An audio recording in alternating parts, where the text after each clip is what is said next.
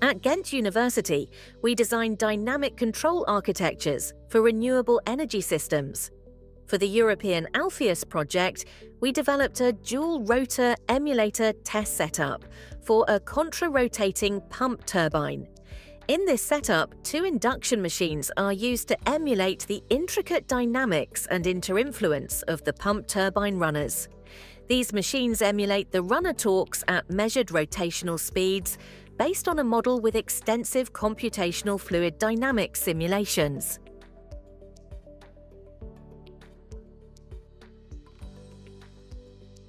These induction machines are coupled to novel axial flux PMSMs, on which our control architecture can be tested. In this project, we focus on a PID-based control architecture and model-based predictive control.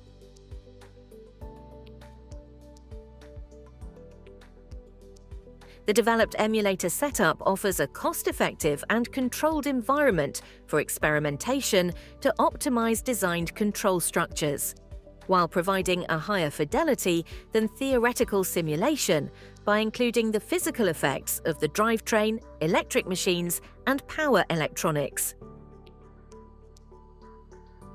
The control architectures are developed with a focus on ancillary services for the electrical grid.